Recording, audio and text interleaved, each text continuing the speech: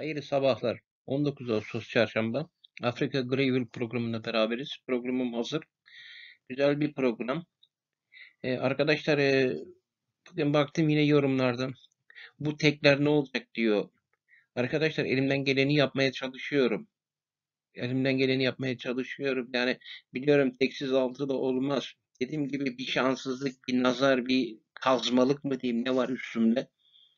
Yani bir türlü kıramadık bacağını. Gidiyoruz bir yerden yatacak bir yerler buluyoruz.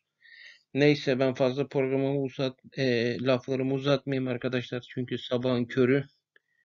Evet ben ilk ayaktan başlıyorum arkadaşlar. Afrika Gravel birinci ayak.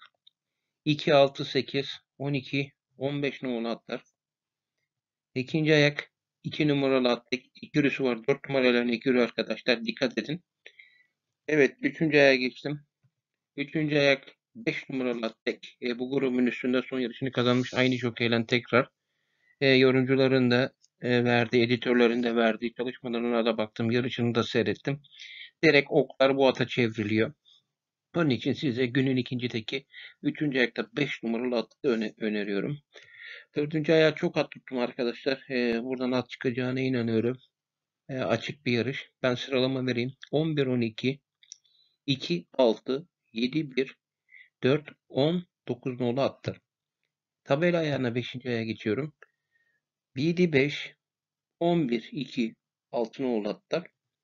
Ve en son ayak arkadaşlar 1, 4, 7, 11, 12, 13 nolu atları öneriyorum size. Evet.